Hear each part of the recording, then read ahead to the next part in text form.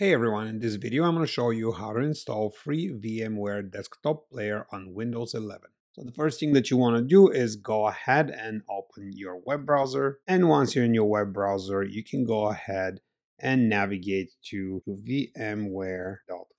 And once you're on VMware website, you can go ahead and click on products. And then from here, you can go under desktop hypervisor and click on workstation player. Once you get here, you can go ahead and click download for free.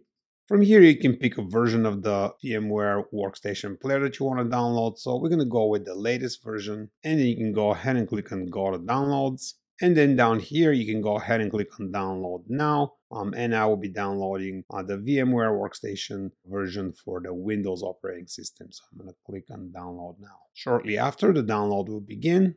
And up here, you can see the progress of your download. Once your package is downloaded, you can go ahead and open it. You can go ahead and close the browser for now. And on this screen, you can go ahead and click next. And you have to check the mark here that says accept the terms and license agreement and then go ahead and click next. This feature here is optional. You can select it if you want. In my case, I'm going to skip it, but I will leave the check mark on the add VMware Workstation console tools in the system path. So then I'm going to just go ahead and click next. I would like to keep my software always up to date, so I'm gonna go ahead and leave this check mark here, and I'm gonna uncheck this because I don't want to be part of their VMware customer improvement program. So if you want to be part of that program, you can leave the check mark there. Here you can choose if you want to have shortcut created on your desktop and, and your start menu. So I'm going to go ahead and leave the check marks on both of these, and then you can go ahead and click install.